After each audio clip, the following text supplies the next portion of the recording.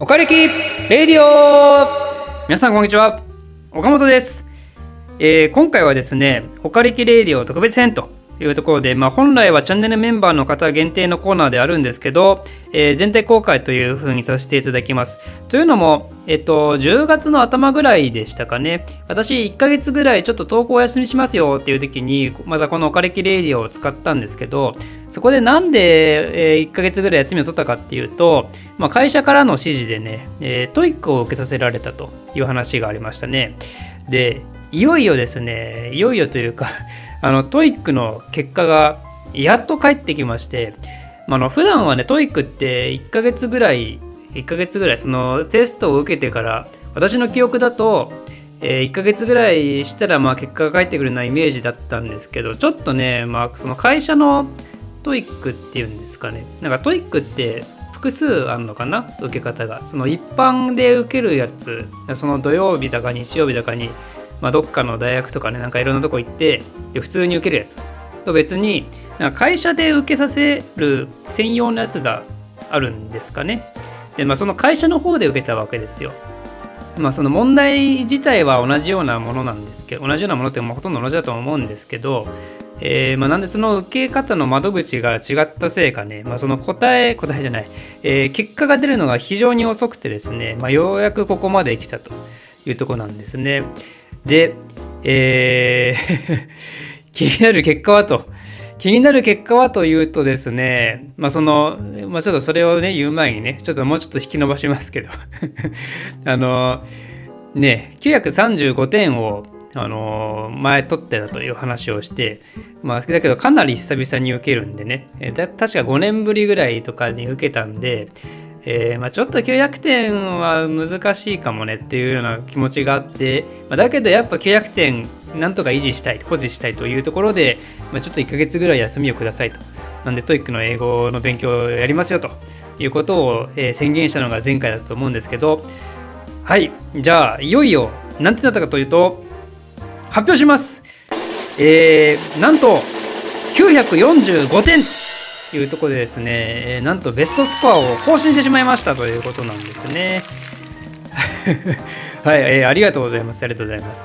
えっと、内訳というとですね、えーまあ、これは受けた人じゃないとまあ全然わかんないですけども、そのリスニングと、えーっと、リスニングとリーディングとあるんですね、TOEIC って。で、えー一つ、えーリスニング、リーディングそれぞれ495点満点という、まあ、非常にあの細かい なんで495なんなんで500じゃないんだろうっていつも思うんですけど、まあ、その495点満点ずつで合計990点っていうのが TOEIC なんですね。で、えー今回初めて、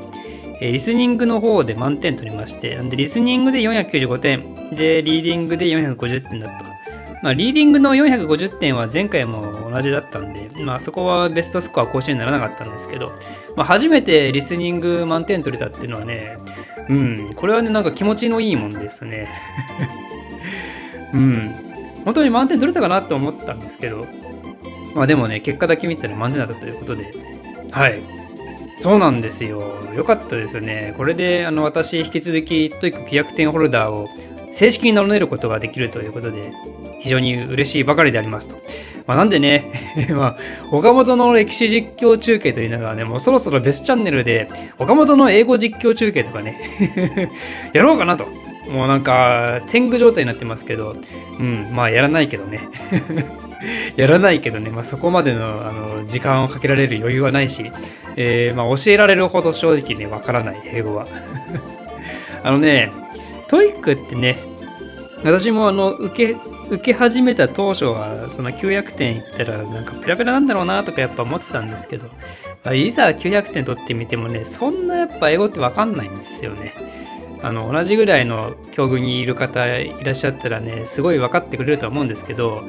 やっぱねその生きた英語と TOEICの英語って全然違うからその TOEICの英語を聞く分には得意なんだけどでもじゃあえ映画とかのねあれを聞けるかとか全然聞けないしうんまあ、だけどあの字幕付きであの児童向け、えー小学校低学年向け番組ぐらいだったらね字幕ついてりゃまあわかるかなぐらいの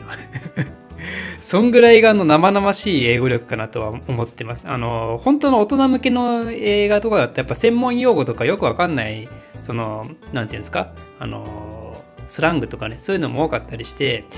まあ、やっぱね、よくわかんないと。やっぱよくわかんない。でも、幼児向けだったらまだわかる。けど、幼児向けでも字幕がなかったらちょっとよくわかんないなって。まあ、その言い回しがやっぱね、 TOEIC出てこないような言い回しがいっぱいありますからね。その口語的な話でね。うん。で、リーディングはね、リーディングはまあ、でも確かに、あの、そんなアカデミックなもんじゃなかったら、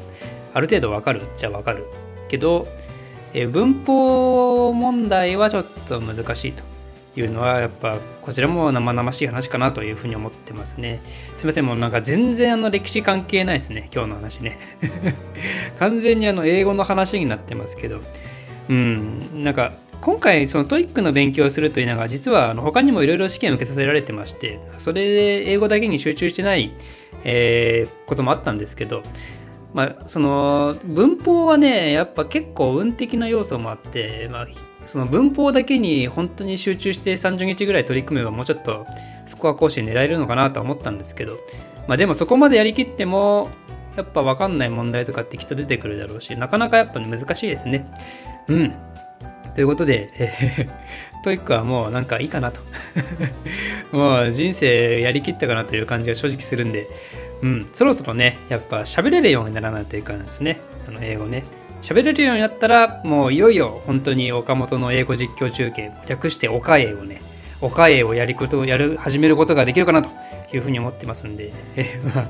えー、興味ある方はね、あの気長に待っていただければ多分5年後ぐらいにやるかもしれませんので、お楽しみにということで、えー、まあ、あの、10月に、えやったおかれきレイディオで公表した通りですね、一応結果については報告すると。いうところで今回やりきりましたので、え特別編これで終わりにしたいと思います。では、次からは、え引き続き歴史の方の、え動画の投稿を続けていきますので、今後ともよろしく